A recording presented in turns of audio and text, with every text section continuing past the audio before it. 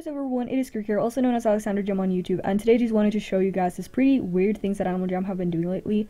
One of them is that they have been suspending people and forgetting to unsuspend them after like 3 weeks when they're only supposed to be suspended for like one day. And the weirdest thing that Animal Jam have been doing, they have actually been activating the account 7. If you guys didn't know who 7 is, it's basically Aparri's old beta account that he had before. He had like a lot of unreleased items, including the mice tail and stuff like that. And this account was actually deleted and blocked out of the game, but Animal Jam for some reason activated the account again, so you can actually visit the den and, you know, just chill in here. So yeah, this is pretty cool. I hope Aparri knows about this, and I hope he will be able to get into his account, because it will be pretty awesome to see um, 7 alive, you know, walking around. Alright, so, yeah, basically, if you like this video, remember to give it a like, comment, and subscribe, and I will see you guys in my next video. Peace.